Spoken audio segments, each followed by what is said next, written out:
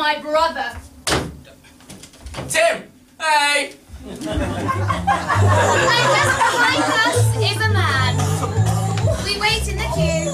And I'm going to chew my chewing gum. I'm reading my magazine.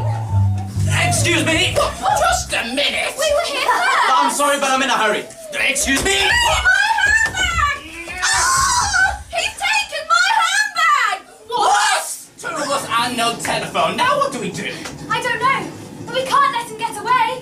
Think of poor Miss Molesworth. He's got her handbag. Tickets, please. Tickets.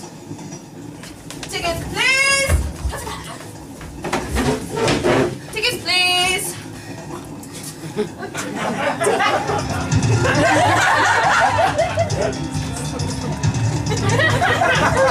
Hey!